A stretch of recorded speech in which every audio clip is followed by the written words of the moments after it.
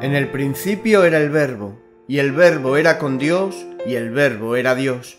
Este era en el principio con Dios. Todas las cosas por Él fueron hechas, y sin Él nada de lo que ha sido hecho fue hecho. Dios, habiendo hablado muchas veces y de muchas maneras en otro tiempo, en estos postreros días nos ha hablado por el Hijo, a quien constituyó heredero de todo, y por quien asimismo hizo el universo, quien sustenta todas las cosas con la palabra de su poder, esa palabra que trajo paz en los momentos más angustiosos, la misma palabra que trajo juicio a los imperios y reinos más poderosos de la historia, la palabra que trae vida para que en el día de Cristo podamos gloriarnos de no haber corrido en vano ni en vano trabajado y sobre todo una palabra que trae salvación por medio del Evangelio de Jesucristo. Desde Radio Luz a las Naciones queremos ofrecerte cada domingo en directo la palabra de Dios traída de la mano de nuestros hermanos en la fe para edificar y dar aliento a todos los oyentes. Te invitamos a unirte con nosotros y disfrutar de todo el contenido entrando en nuestro canal de YouTube o en nuestra página web.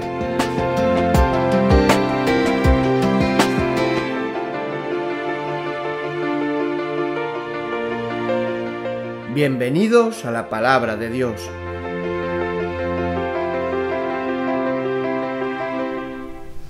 Hola, muy buenas tardes a todos y bienvenidos, como bien estamos escuchando, en la cuña de entrada a todos aquellos que estáis hoy conectados con nosotros a través de nuestra página web www.fmradioluz.com y también a través de nuestros canales de YouTube y de Facebook. Como cada domingo, pues nos reunimos a las 7 de la tarde para poder escuchar el mensaje de la preciosa palabra de Dios en este tema que últimamente estamos escuchando sobre la tercera persona de la Trinidad, el Espíritu Santo. Hablamos de un solo Dios en tres personas y hoy pues volveremos a hablar de, y a escuchar de los dones del Espíritu a cargo de Juan Antonio Sánchez desde Moscú, en Rusia, a quien le damos la bienvenida y las buenas tardes. Muy buenas tardes, Juan.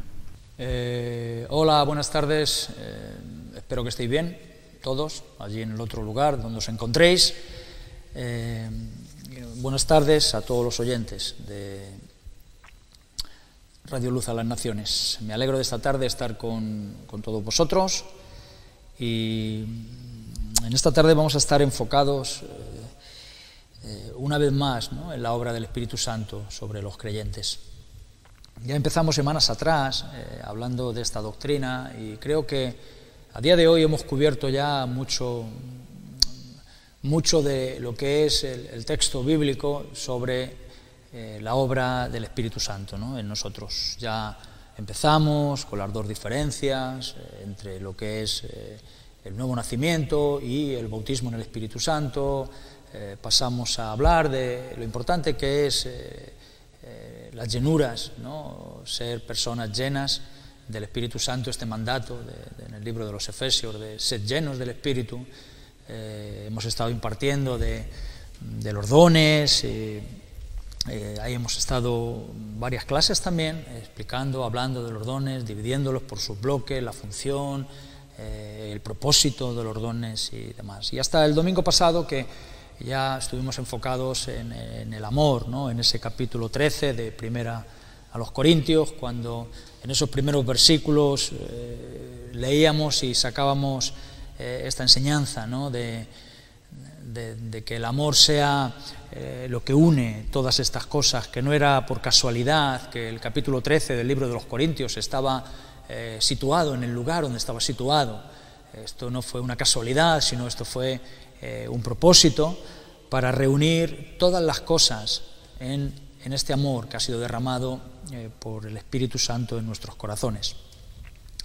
Ahí estábamos centrados en, eh, mirar estos pasajes, donde el versículo del 1 al 3 nos, hablaban de, dones, de dones, de si tuviéramos toda la fe, si, si tuviéramos profecía, si tuviéramos las lenguas, si, si eh, si entendiésemos toda la ciencia, pero no teníamos amor, eh, al final quedábamos en un ámbito eh, de un metal que suena, un metal que retiñe, en el ámbito del nada, en el ámbito que molesta, ¿no? porque no edifica, porque mm, lo que hace todas estas cosas es tal vez enorgullecer al hombre más que ser un propósito para edificar a la iglesia.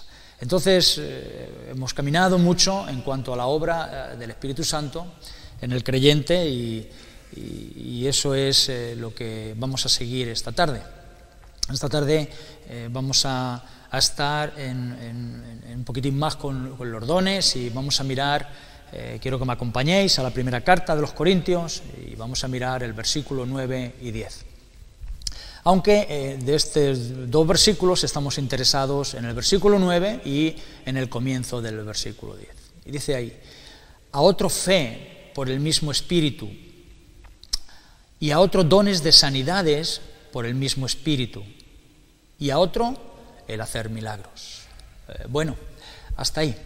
Eh, este pasaje que hemos leído, del versículo 9, el comienzo del versículo 10, ahí Pablo está Em, hablando de la manifestación de tres dones eh, que, como hemos escuchado en clases anteriores, están encuadrados dentro del bloque de los dones de poder. Dentro de este bloque están la fe, el don de fe, aquí están eh, los dones de sanidades y a otros el don de hacer eh, milagros. Eh, aquí simplemente la palabra la cual define estos dones dentro del bloque que se encuadran es dones de poder. Solo la palabra poder ya es una palabra que tal vez asusta un poco. Es una palabra que que nosotros debemos de aceptarla y debemos de entenderla, ¿no? lo que es eh, muy bien. Tenemos que entender que es eh, una manifestación de Dios, una operación de Dios que Él quiere hacer ¿sí? para edificar su iglesia, eh, utilizando a, hombres, a personas. Este don Dios opera a través de personas eh, como Él eh, quiere y la manera que Él quiere. El don es de Dios, Dios es el que lo otorga, el Dios tiene un carácter divino y el propósito es glorificar a Dios en todo. Entonces, no es un poder que tengo que me hace ser superior a otros, no es un poder eh, que tengo y controlo y me hace dirigirme de una manera extraordinaria, no, es, es un poder que Dios da, es un poder que tiene que ver con una capacitación que Dios da, es con una eh, operación que tal vez Dios hace, ¿no? Y utiliza eh, a miembros, a creyentes, para eh, llevar una obra, un beneficio a su iglesia. Estos dones también tenemos que decir que eh, no están dentro del grupo de los dones de los residentes, ¿no? También nos hablaron de, dones que son, les llaman residentes porque residen en el creyente, porque están en el creyente. Eh, y este es un tipo de, bloque, el que vamos a tratar esta tarde, donde eh, tienen cierta espontaneidad los dones. Entonces, habiendo dicho esto,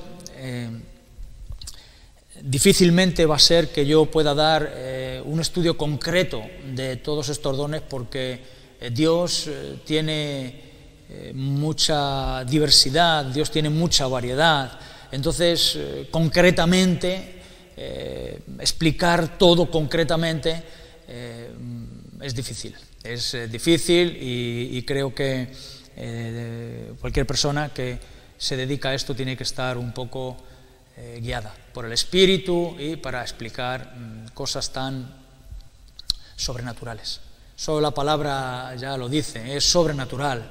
Nosotros como humanos estamos muy eh, tal vez capacitados eh, para poder entender cosas naturales, pero hay cosas que son sobrenaturales, donde a nosotros nos dejan en cierta manera fuera de un ámbito, donde mm, concretamente no sabemos muy bien qué pasó, concretamente no sabemos muy bien como fue.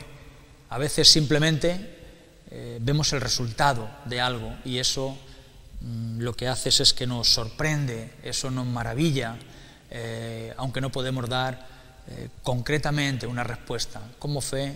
¿Cómo Dios obró? ¿Cómo Dios lo hizo? Y a través de quién lo hizo. Entonces, habiendo dicho esto, esta explicación de poder, pues yo quiero relacionar este don de fe con este tipo mismo bloque, ¿no? Porque este don de fe generalmente actúa con el don de sanidad, eh, sanidades y con el don de hacer eh, milagros.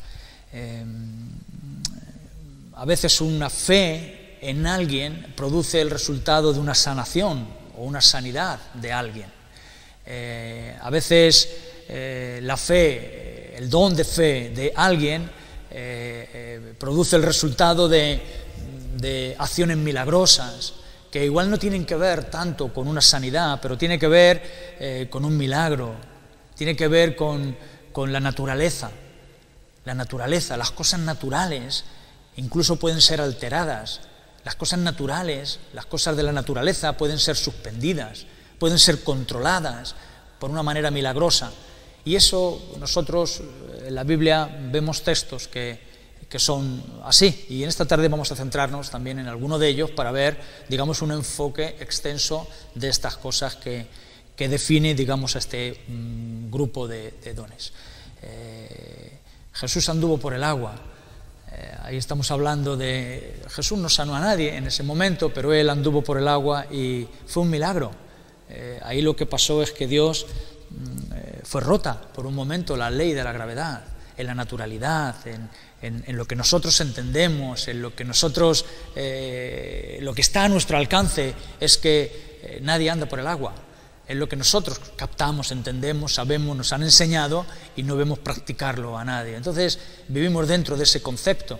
Pero Jesús, cuando leemos en la Biblia que Él anduvo por el agua para ir al rescate ¿no? de sus eh, de sus discípulos, pues entonces vemos que ahí lo que pasó fue que las leyes de la naturaleza fueron eh, suspendidas, controladas eh, por un milagro eh, a través de la fe que en el propio Jesús había. Él todo lo podía, él podía hacer cualquier, cualquiera de, de, las cosas. Entonces, porque todos los dones operaban en él. Este don también, el don de fe, también opera a veces sosteniendo una confianza en Dios cuando las cosas que están pasando superan lo natural.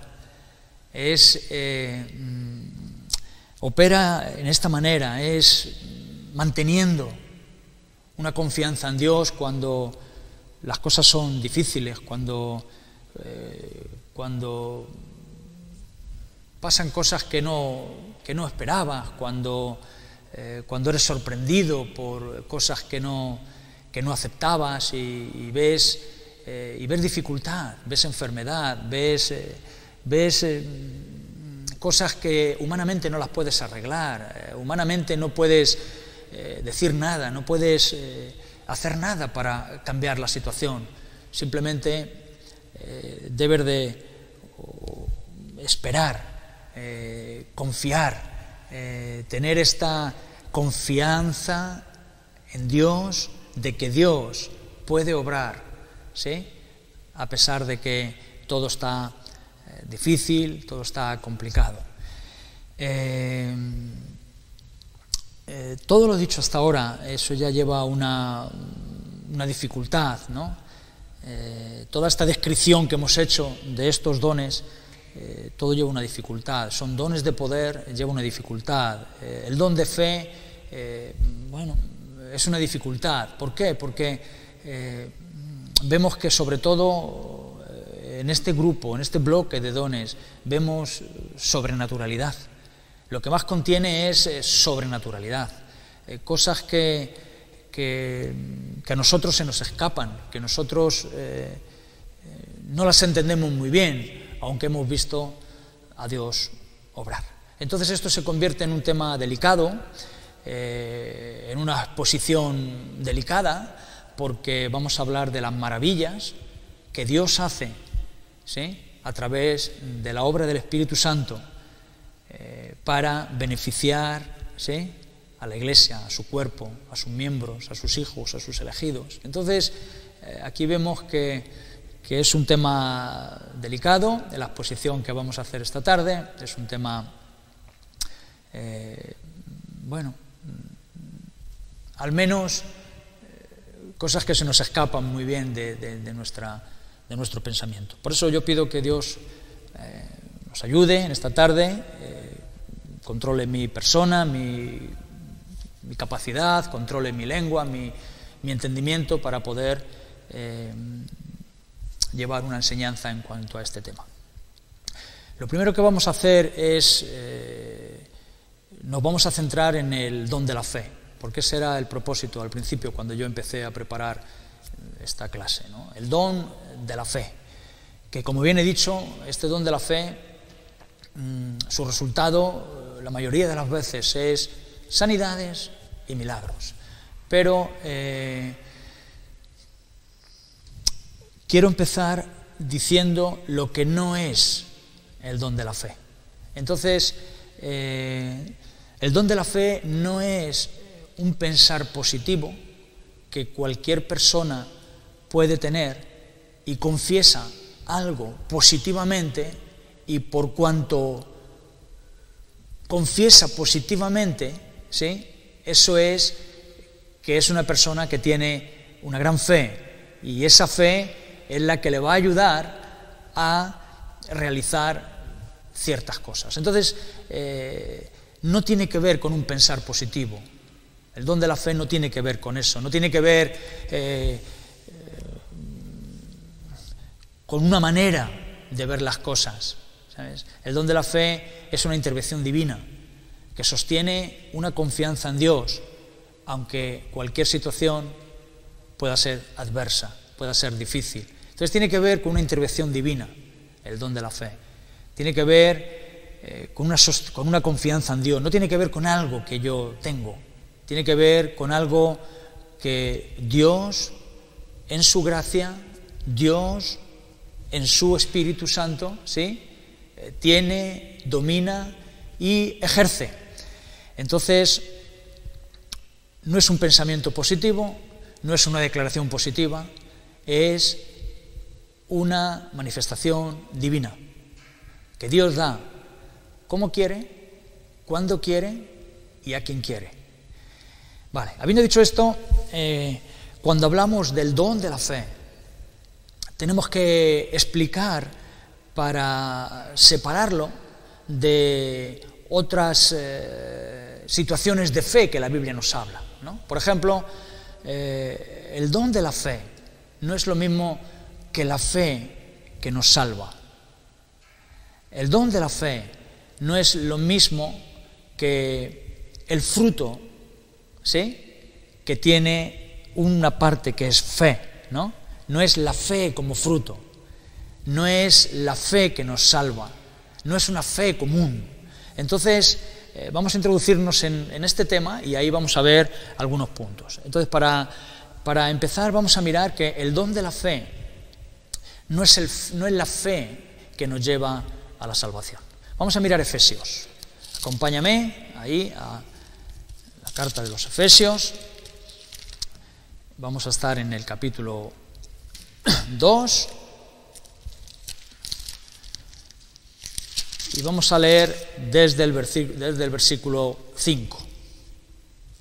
Efesios, capítulo 2, versículo 5. Aún estando nosotros muertos en pecados, nos dio vida juntamente con Cristo. Por gracia sois salvos. Y juntamente con Él nos resucitó.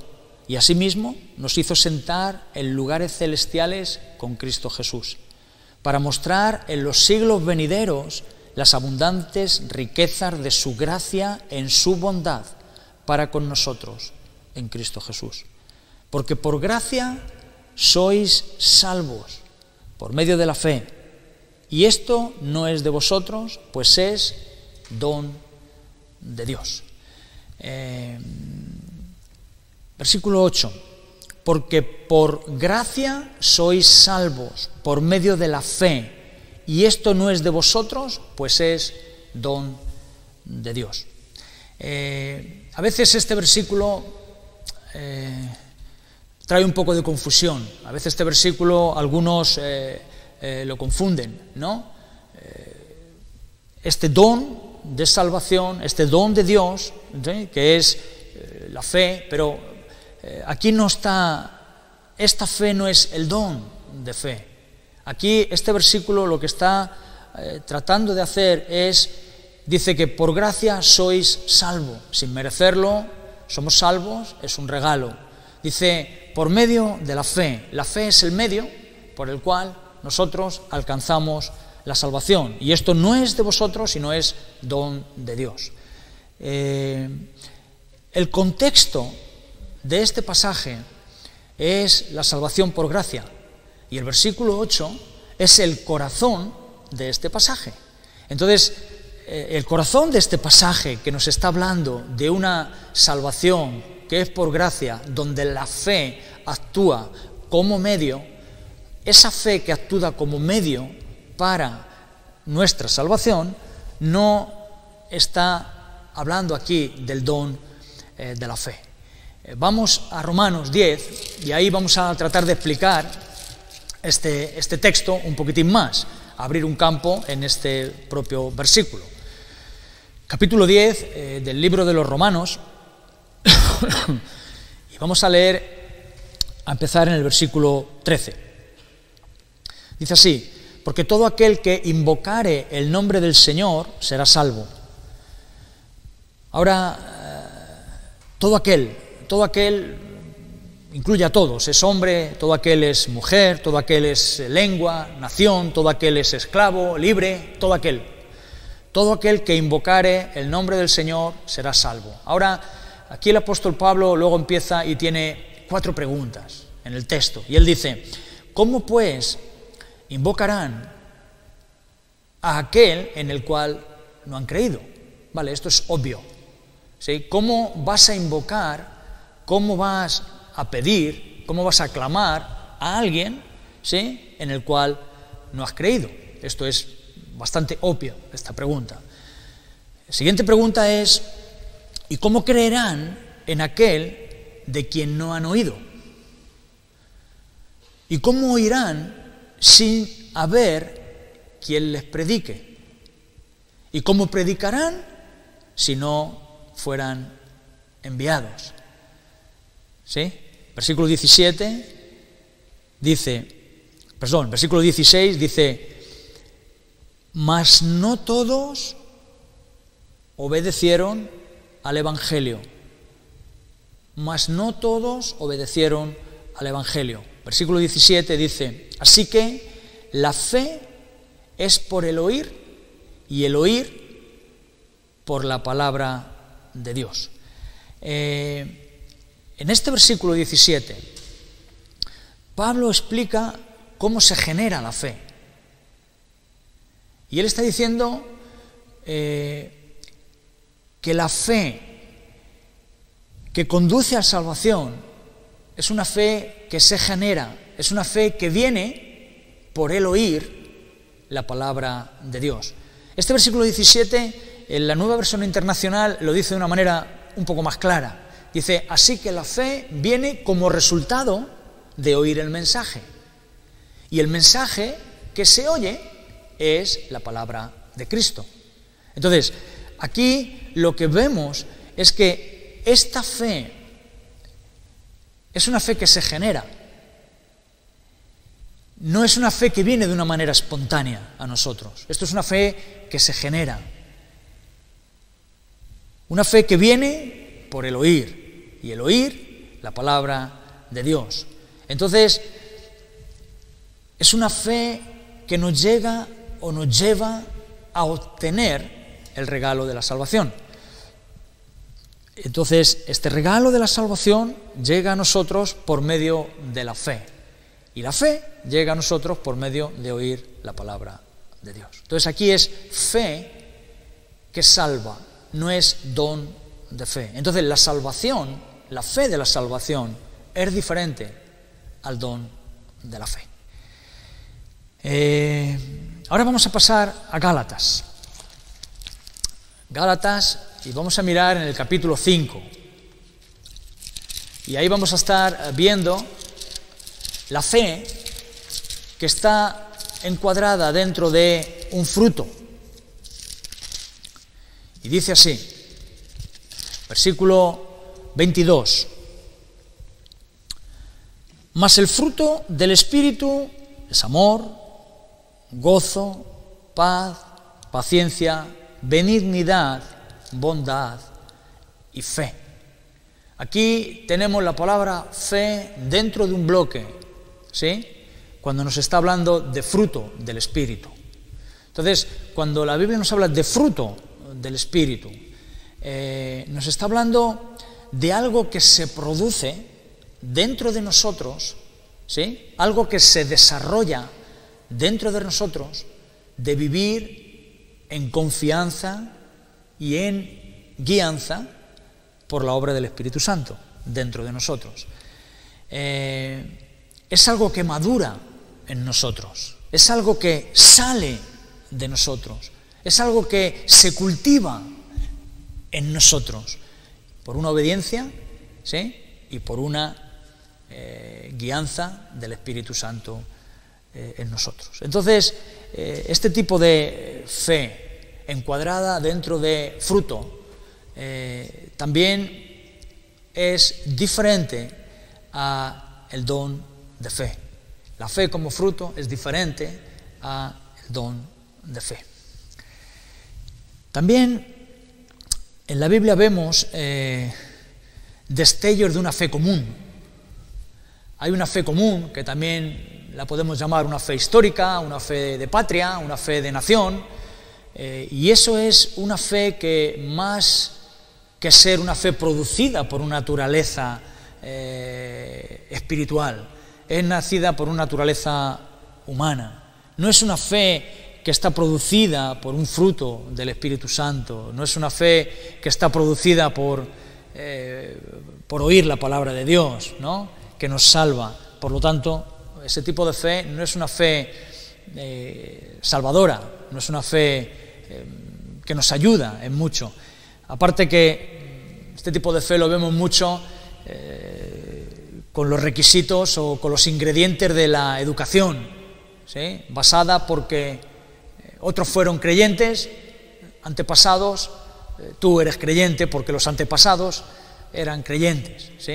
Y a veces es una fe que, viene por nuestro propio esfuerzo. Entonces estos ingredientes eh, en este tipo de fe pues no ayudan porque no llevan a una luz espiritual, porque no tienen un poder divino, porque no se mueve nuestro corazón, no mueve nuestra mente para ser personas que llegan a la obediencia.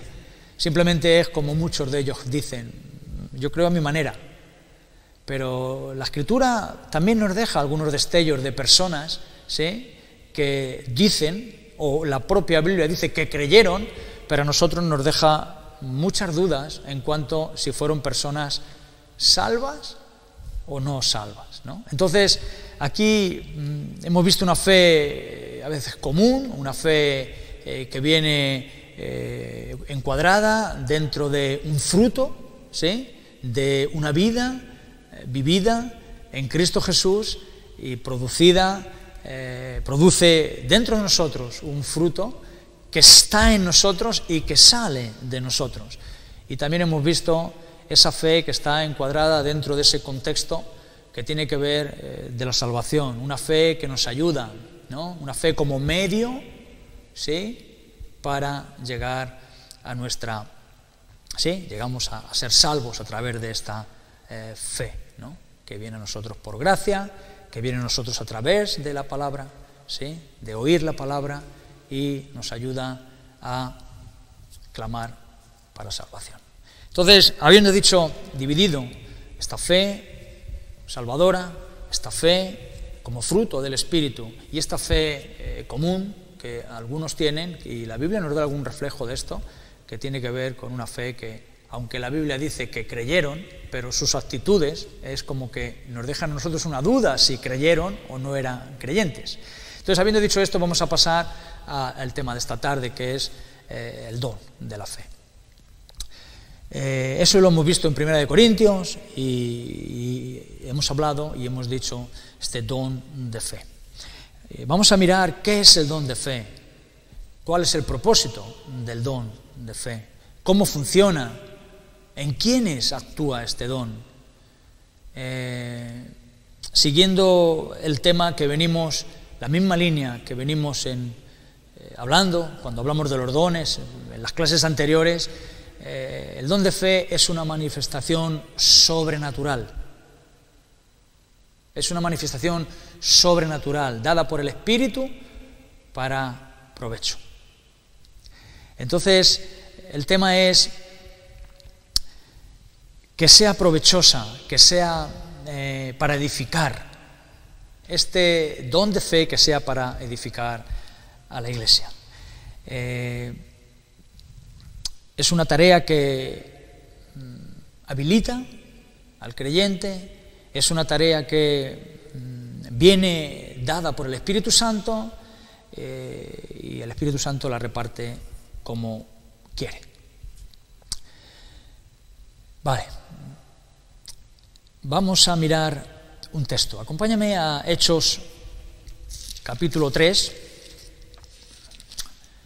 y vamos a estar en el versículo 1. Vamos a empezar en el versículo 1. Vamos a mirar qué está pasando aquí. Eh, aquí nos está relatando la, situación de un cojo que estaba sentado en la puerta del templo pidiendo limosna. Y el Espíritu Santo pone eh, este don de fe, esta operación, en la vida o a través de Pedro para que traiga un beneficio notorio y todos los demás puedan llegar a verlo. Entonces aquí dice así el texto, Pedro y Juan subían juntos al templo a la hora novena, la de la oración, y era traído un hombre cojo de nacimiento, a quien ponían cada día a la puerta del templo, que se llamaba la Hermosa, para que pidiese limosna de los que entraban en el templo. Este, cuando vio a Pedro y a Juan que iban a entrar en el templo, les rogaba que les diesen limosna. Pedro, con Juan, fijando en él los ojos, le dijeron, míranos. Entonces él les estuvo atento, esperando recibir algo. Mas Pedro dijo, no tengo plata ni oro, pero lo que tengo te doy. En el nombre de Jesucristo de Nazaret, levántate y anda. Tomándolo por la mano derecha, le levantó y al momento se afirmaron los pies y los tobillos. Y saltando, se puso en pie y anduvo y entró con ellos en el templo, andando y saltando y alababa a Dios. y todo el pueblo le vio andar y alabar a Dios. Y le reconocían que él era el que se sentaba a pedir limosna a la puerta del templo, la hermosa, y se llenaron de asombro y espanto por lo que había sucedido. Entonces aquí nos está eh, la escritura presentando eh, una situación donde eh, Pedro y Juan se dirigen al templo a orar y ahí hay un hombre que nunca habían dado. Dice que era un cojo de nacimiento, nunca habían dado. Y que cada día a este hombre le ponían en la puerta de este templo para pedir limosna. Entonces, cuando Pedro y Juan se acercan hacia eh, la entrada, ven a este hombre y este hombre les pide y les ruega que le den eh, limosna. Entonces Pedro eh, y Juan, pusiendo los ojos en él, le dijeron, míranos, llamaron la atención del hombre. Entonces este hombre, a partir de este míranos, este hombre estuvo atento, dice el versículo aquí, dice que él estuvo atento, versículo 5, él estuvo atento esperando recibir algo de ellos. Eh, mm, aquí lo que vemos es que eh, Pedro dice, no tengo plata ni oro, pero lo que tengo te lo doy en el nombre de Jesucristo de Nazaret. Levántate y anda. Quiero que notes algo en este versículo.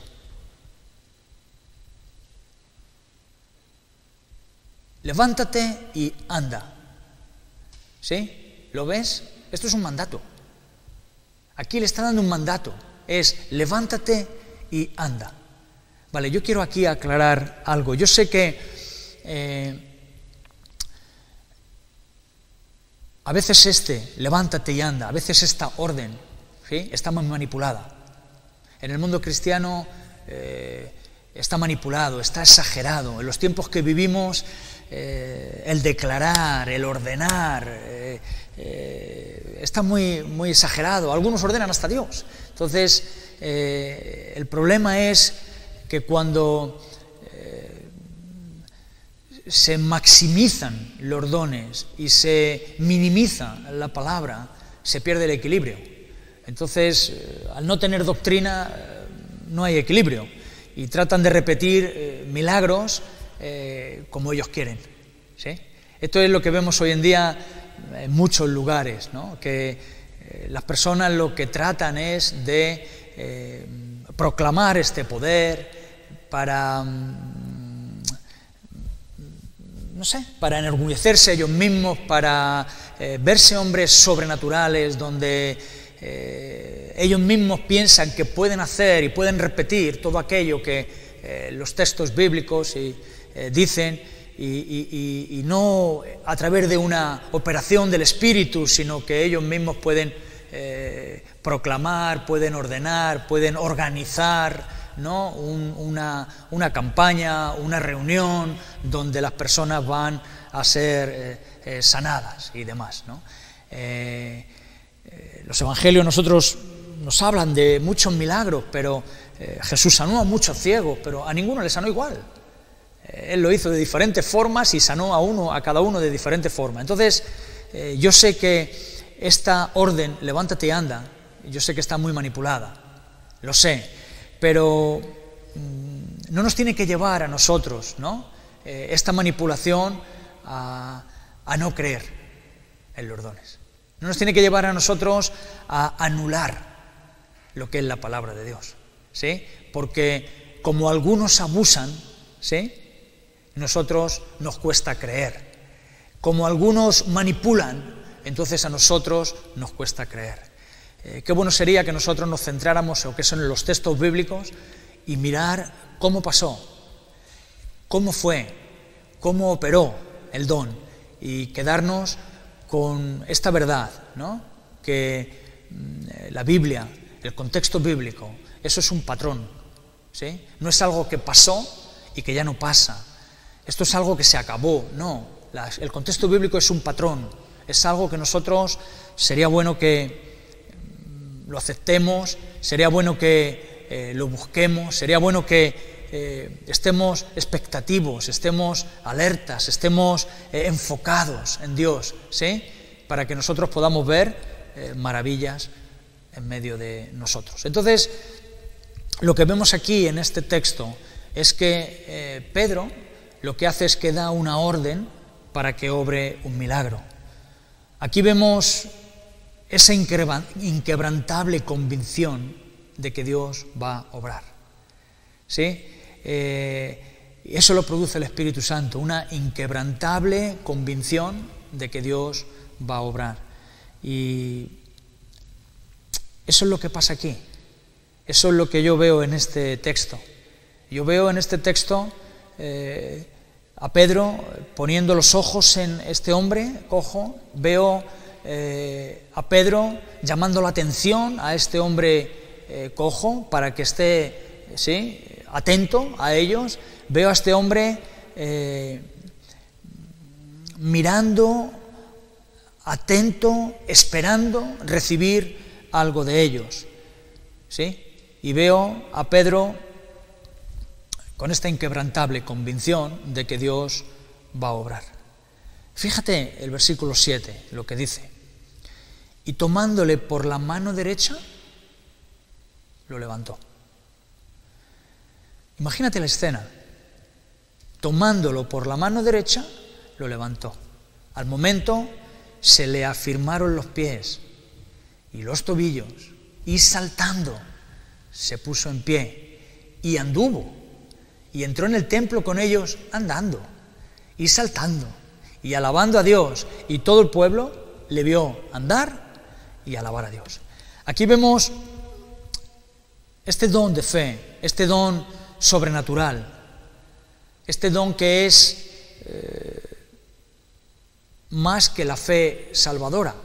¿sí? Aquí nos está representando eh, la fe, un don de fe que es más que la fe salvadora, más que esa fe que em, cultivamos dentro de nosotros, ¿sí? para mm, tener un fruto de fe. Eh, yo aquí veo el don de fe que permitió actuar a Pedro en el nombre y en el poder de Dios para hacer la sanación de este cojo. Aquí la convicción de Pedro lo que hizo fue que desembocó en una sanación. Aquí Pedro, eh, su don de fe, su llamar atención de este hombre, ¿sí? Eh, desembocó en una eh, sanación. yo he visto a personas con esta convicción que el Espíritu Santo puso en ellas en situaciones concretas y por situaciones concretas. ¿sí? Y el resultado de eh, estas eh, situaciones concretas, el resultado de esta convicción, eh, el resultado de, estas situaciones, ¿no? he visto a Dios obrando. Yo lo he visto a Dios obrando. Entonces, hay personas que están con nosotros que, que las vemos y las definimos como un milagro. Decimos, este hombre es un milagro. ¿Sí? ¿Por qué? Porque tal vez pasaron por situaciones difíciles, tal vez pasaron por situaciones eh, complicadas, ¿sí? por situaciones de enfermedad, ¿no? Y yo no me puedo olvidar de, eh, de mis hermanos con los que comparto ministerio, no me puedo olvidar de ellos, de sus enfermedades, eh, de cómo Dios a algunos de ellos le levantó del último aliento, y hasta yo mismo he estado en ese umbral. Hasta yo mismo he estado en este umbral, ¿no? Y, he visto estas situaciones en medio de nosotros, he visto esta necesidad de milagro en medio de nosotros, he visto este esperar un milagro, ¿sí? Y al mismo tiempo he visto a personas en esas situaciones difíciles convencidas de que el Espíritu Santo, ¿sí? puso en algo en ellos, ¿sí? para ayudarles a mantenerse firmes en la fe en que Dios iba a obrar. Dios obró. Yo esto lo he visto, nosotros conocemos muchas personas así. Dios obró de una manera sobrenatural, inexplicable, ¿sí? Y lo mejor de todo ello es que Dios lo hizo sin darnos cuenta quién fue el Pedro de la situación. Pero yo sí he visto esto, yo he visto eh, eh, personas esperando, esperando una manifestación de Dios porque eh, se acababa mm, todas las opciones, se acababa eh, todos los protocolos médicos, se acababa eh, todo lo que se podía hacer, ¿sí? Y solo quedaba esa fe, ¿sí? Esa fe que, mm, que nos mantiene, quedaba esa convicción inquebrantable ¿sí? de que Dios iba a obrar. Entonces, eh, yo lo que veo en este punto es, eh, es esa manera, ¿no? es esa forma, es, es Dios obrando, Dios obrando, Dios eh, con esta convicción, ¿sí? mantiene a personas en esta convicción, en esta convicción de que Dios puede obrar, en esta convicción de que Dios puede hacer porque Dios es el Rey de la Gloria. ¿Sí? En esta convicción eh, de que Dios eh, va a hacer un milagro. ¿sí?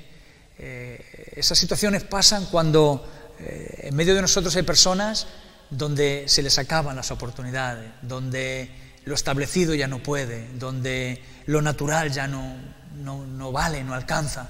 ¿sí? Y solo la convicción en que Dios va a obrar, eso es lo que puede ayudarnos. Eso ha pasado, eso lo he visto. Yo mismo he estado en ese umbral, ¿no? Donde No quedaba más, más que esperar. En esa situación he visto personas con esa convicción fuerte, esperanzadas en Dios, en que Dios iba a obrar. En muchos casos Dios obró. No sabemos a través de quién, pero lo que sí sabemos es que Dios obró. Y ese obrar de Dios nosotros le vemos hoy. Y ese obrar de Dios a muchas personas, ¿sí? Nosotros decimos, Dios hizo un milagro con él, porque casi no estaba, ¿sí? Pero está entre nosotros. Entonces, eh, es la manera en que Dios obra. En este caso, Dios obró y nos define muy bien que Pedro fue, ¿sí? El que eh, tuvo esta convicción, ¿no? Que vino de una manera sobre él para hacer lo que él hizo. Ahora, también podemos decir que eh, eh, no vemos a Pedro nosotros todos los días actuando de esta manera, ¿sí? No vemos nosotros a Pedro todos los días haciendo lo mismo. Eh, esto no lo hacía Pedro a diario, pero en este momento es obvio, ¿sí? Que aquí está operando una convicción que él tenía entonces, eh, esto es lo que, lo que vemos aquí, ¿no? y, esto es lo que no debemos nosotros nunca, ¿sí? Eh, de apartar de nosotros. No debemos nunca de dejar de creer, porque Dios nos ha mostrado más de una vez que Él ha obrado en medio de nosotros. Eh, vamos a mirar otro ejemplo, vamos a primera de Samuel. en el capítulo 17 de Primera de Samuel.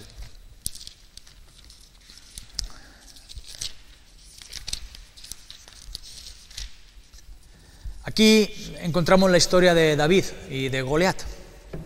Y claro, no vamos a leer la historia entera, pero eh, aquí lo que vemos es que, vosotros la sabéis, la recordáis la historia, eh, aquí de pronto se levanta un gigante, ¿sí?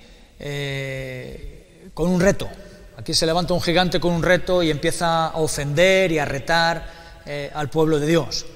Y este gigante, pues eh, lo que hizo fue crear temor. Él creó temor sobre el pueblo de Israel. Aunque todos los israelitas tenían una fe común, todos creían que Jehová era Jehová de los ejércitos, ¿sí? Pero en esta situación, ¿sí? Aunque su fe era en Jehová de los ejércitos, en esta situación lo que vemos es que el pueblo estaba atemorizado. El versículo 32 dice que, y dijo David a Saúl, no desmaye el corazón de ninguno a causa de él. Tu siervo irá y peleará contra este filisteo. Y dijo Saúl a David, no podrás tú ir contra aquel filisteo para pelear con él, porque tú eres muchacho y él es un hombre de guerra desde su juventud. David respondió a Saúl, tu siervo era pastor de ovejas de su padre, y cuando venía un león y un oso y tomaba algún cordero de la manada, yo salía tras él y lo hería y lo libraba de su boca. Y si se levantaba contra mí, yo le echaba la mano de la quejada y lo hería y lo mataba. Fuese león, fuese oso, tu siervo lo mataba. Y este filisteo incircunciso será como uno de ellos, porque he, ha provocado al ejército del Dios viviente. Añadió David, Jehová me ha librado de las garras del león y de las garras del oso. Él también me librará de la mano de este filisteo. Y le dijo Saúl a David, ve, que Jehová esté contigo. ¿Qué estamos viendo aquí? Aquí estamos viendo un cuadro de un pueblo, ¿sí? Que todos, que todos creían en Jehová de los ejércitos, ¿sí?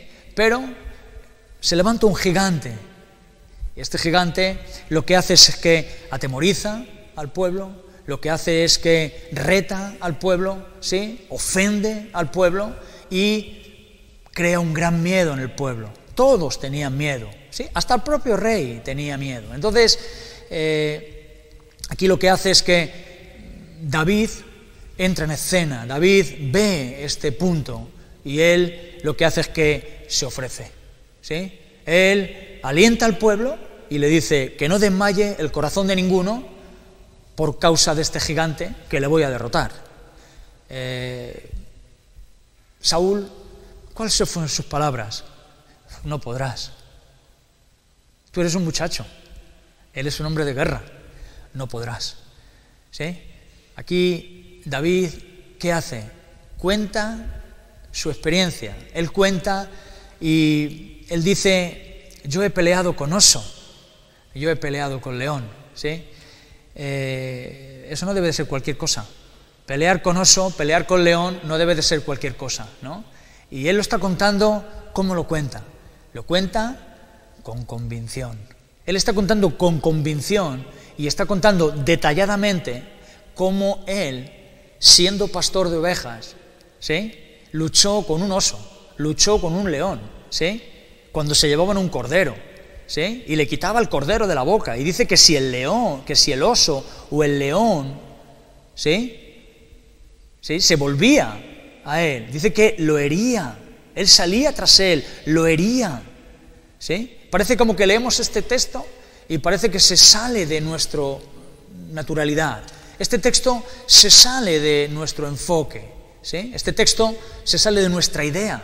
¿sí? Porque las cosas naturales eh, tienen un límite. ¿sí? Aquí vemos que eh, David, un muchacho, donde ni el rey le veía como persona que iba a poder vencer, donde el pueblo estaba atemorizado, donde sus palabras sonaron, ¿sí? Como solemos decir muchas veces, huecas. Aunque él explicó todo, ¿sí? Aunque él explicó todo, aunque él explicó cómo había sido su vida, aunque él explicó cómo Dios había actuado, ¿sí?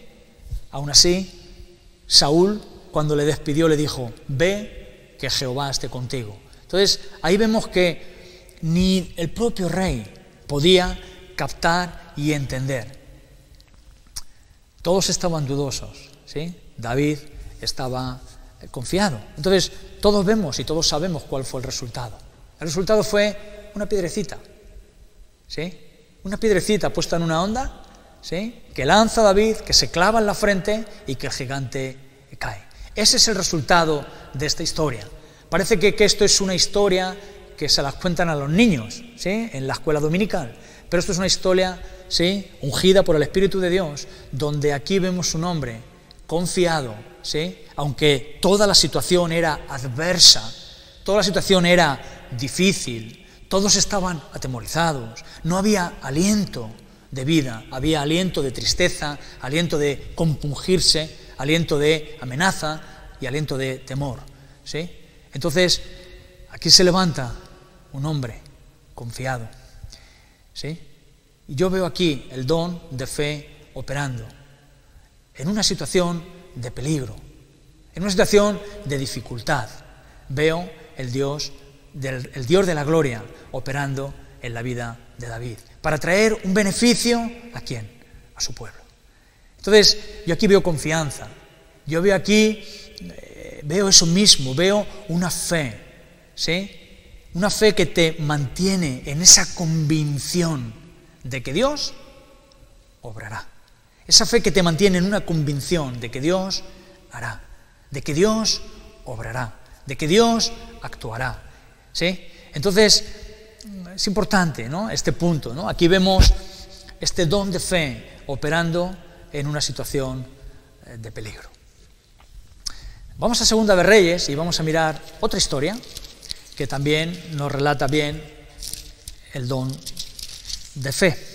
Aquí, en esta historia, en Segunda de Reyes, en el capítulo 6, esta historia ya, la misma historia, nos la, contaron las semanas pasadas eh, eh, las personas que estuvieron compartiendo. ¿no? Creo que fue eh, Loel el que nos contó esta historia, ¿no? de la historia del hacha, la historia de, del hacha. Y aquí lo que está pasando, para no leerla entera, lo que está pasando aquí es que aquí había un muchacho que mientras que cortaba un árbol, ¿sí? dice que el hacha se le cayó en el agua. ¿sí? Y dice que gritando, ¿sí? él dijo, oh Señor, ¿sí? mi hacha era prestada. ¿sí?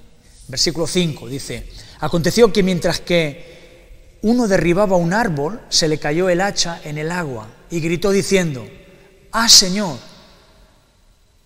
era prestada. El varón de Dios preguntó, ¿dónde cayó? Él le mostró el lugar.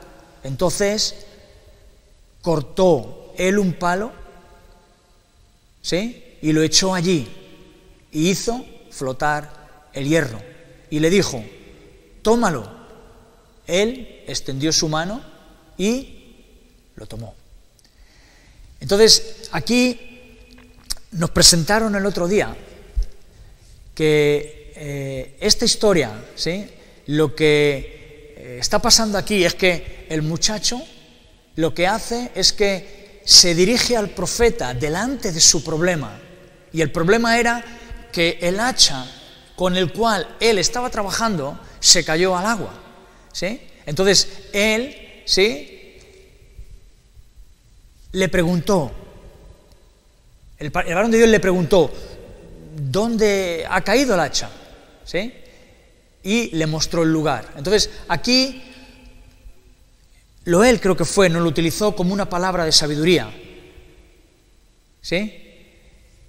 El profeta, ¿sí? En su sabiduría, le dijo al muchacho qué es lo que tenía que hacer, ¿sí? Para poder recuperar el hacha que se le había caído en el agua, ¿sí? Pero aparte de esa palabra de sabiduría que el profeta le dijo al muchacho, ¿sí? De que lo que tenía que hacer, aparte de esa palabra sabiduría, yo aquí lo que veo es un milagro, ¿sí? De fe. Yo veo aquí el don de fe actuando, un milagro. ¿Por qué?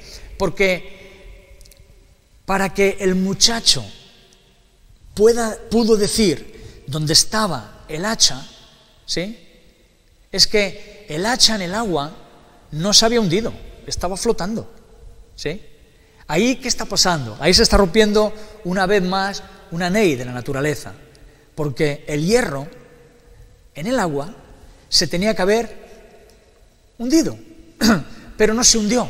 Entonces, ¿qué estamos viendo aquí? Aquí lo que estamos viendo es un milagro producido a través de la fe ¿sí? del profeta que hizo que el hacha, el hierro en el agua no se hundiera.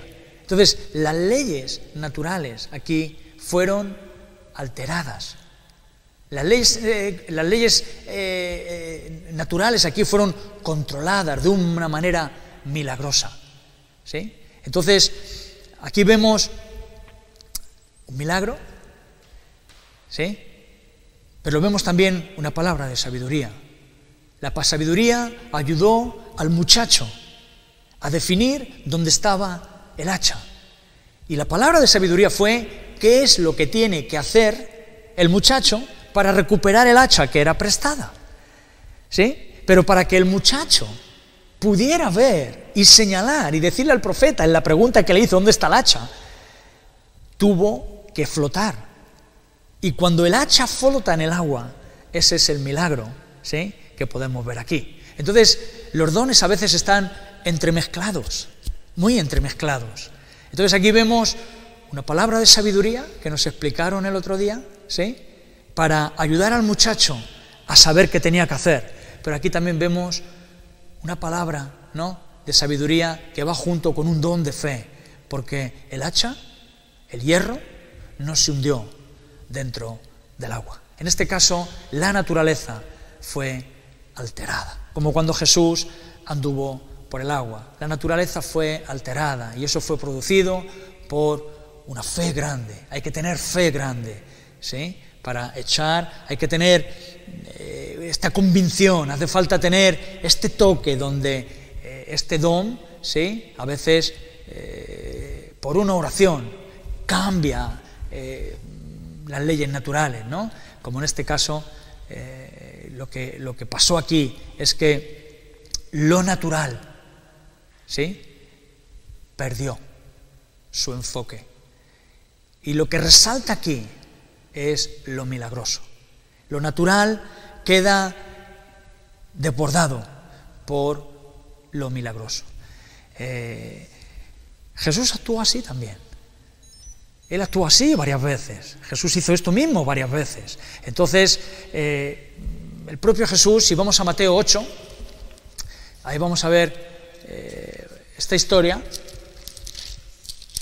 Y con esta historia vamos a tratar de terminar. Capítulo 8 de Mateo y el versículo 24. Versículo 23 empezamos. Dice, entrando él en la barca, sus discípulos le siguieron. Y he aquí que se levantó en el mar una tempestad tan grande que las olas cubrían la barca. Pero él dormía. Vinieron sus discípulos y le despertaron diciendo, Señor, sálvanos, que perecemos. Él les dijo, ¿por qué teméis, hombres de poca fe? Entonces levantándose, reprendió a los vientos y al mar, y se hizo grande bonanza. Y los hombres se maravillaron, diciendo, ¿quién es este que aún los vientos y el mar le obedecen? Entonces, aquí mm, vemos una historia parecida, ¿no? Aquí vemos cuando la ley de la naturaleza ¿sí? queda por debajo ¿sí? de una manifestación divina. Entonces aquí el propio Jesús ¿sí? dice que va, eh, va y, este hombre lo que hace es que para, Jesús para, ¿sí? todas las dificultades que están teniendo ¿sí? los discípulos. Aquí los discípulos están cumpliendo lo que Cristo les ha dicho, porque en el capítulo 8, en el versículo 18, ahí dice que Jesús les dijo, les mandó, pasemos al otro lado. Entonces, los discípulos, haciendo lo que Cristo les había mandado, ¿sí? se encuentran en una dificultad. La dificultad en la que ellos se encuentran es que eh, estando, ¿sí? Estando en el mar, se levanta esta tempestad tan grande. Dice que las olas cubrían la barca, ¿sí? Y Cristo dormía. Sus discípulos le despertaron, Señor, sálvanos que perecemos. Aquí vemos una situación también eh, difícil. Es una situación donde ellos se veían como que iban a perder la vida. Ellos se veían eh, que iban a morir. Ellos se veían en una dificultad. Y el Señor, ¿sí? Cuando le despertaron, les preguntó, ¿por qué teméis, hombres de poca fe? ¿Sí? ¿Por qué teméis, hombres de poca fe? Levantándose, reprendió al viento, reprendió el mar. ¿sí? Y dice que se hizo grande bonanza. Entonces, aquí es otro caso donde vemos la fe funcionando. Aquí vemos el don de fe funcionando con plenitud, donde se para, donde se controla las leyes naturales para traer una calma, traer un punto de situación, traer, eh, calmar una tempestad, donde hay una maravillas. Dice que aún, aún los vientos y el mar le obedecen. ¿Quién es este? Vieron estas maravillas. Entonces, aquí también vemos un punto del don de la fe. Como hemos visto, eh, este don de fe eh, desemboca, a veces desemboca, en sanar a alguien. Aquí vemos el don de fe que a veces desemboca, ¿sí? En un milagro, que no tiene que ver con una sanidad, pero tiene que ver eh, con sobrepasar, con detener ¿sí? las leyes naturales, ¿sí? donde eh, vemos ¿sí? que lo establecido, lo natural, queda por debajo ¿sí? de esta operación divina, de esta intervención divina. A veces eh, este don de fe, ¿sí? como hemos visto, lo que hace es que em, aparta a alguien de un peligro, donde ayuda a alguien en una dificultad, eh, donde todo tenía que haber salido de otra manera, donde mm, todos estaban temerosos, donde mm, no había, digamos, una solución, donde no había una esperanza, ¿sí? Pero alguien se mantuvo, ¿sí? Con esa... Eh, eh, se tuvo con esa inspiración, se mantuvo con esa inquebrantable convicción ¿no? de que Dios eh, podía, podía obrar. Entonces, ¿cuántas cosas inexplicables vivimos nosotros? Eh, cuántas cosas inexplicables nos acompañan ¿no? a nosotros, donde no tenemos una respuesta completa de lo que pasó, donde solo podemos atribuir que pasó porque Dios obró. Hay muchas cosas alrededor nuestra donde eh, Dios obró, donde nosotros contamos que Dios hizo maravillas en medio de nosotros, donde Dios cambió una situación, donde Dios sanó a alguien, donde Dios hizo un milagro porque todo tenía que haber sido de una manera diferente en lo que nosotros entendíamos, pero Dios operó y todo cambió. El enfermo sanó, la situación cogió otro rumbo, la situación cambió. Porque Dios obra para bien de los que Él ama. Es importante que nosotros a veces, o casi nunca, nos damos cuenta quién fue el autor por el cual Dios obró. Pero qué bueno es que nosotros podamos ver que Dios obró. Donde nosotros podemos ver que nuestra oración fue contestada nosotros podemos ver que nuestra petición, que nuestro ruego, Dios la atendió. ¿sí? Y a veces nosotros, en el lugar donde estamos, en los sitios donde vivimos, ¿sí? vemos personas que las denominamos de esta manera. Este hombre es un milagro de Dios, porque le vimos en su último suspiro, ¿sí? Pero Dios, así, nuevamente, ¿sí? Le mantuvo, con vida, le mantuvo en su servicio, le mantuvo en su obra, le mantuvo eh, en su consejo, en su... ¿sí? Entonces, eh, no debemos de negar. ¿sí? Yo entiendo que mm, hay mucha manipulación ¿sí? en cuanto dones, sobre todo en cuanto a dones de poder, ¿sí? donde vemos personas que establecen un día, donde tú puedes venir confiadamente y vas a ser sanado ¿sí? Eh, donde no hay fallo, donde no hay uno que no quede sin sanar, donde todas las cosas son sí. Eso es una manipulación, eso es un egoísmo, eso es, eso es eh, cambiar el rumbo, eso es eh, llenarse de orgullo, eso es... Yo entiendo que hay muchas cosas así, pero eso no nos debe a nosotros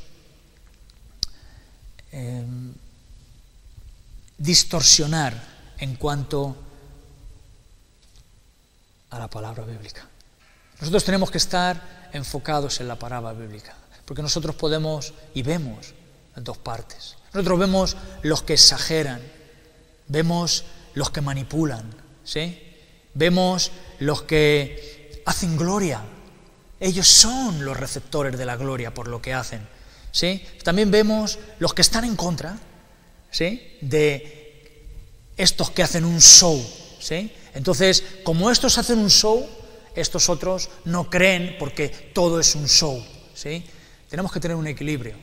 ¿sí? Tenemos que tener doctrina. Cuando tenemos doctrina, esto nos equilibra.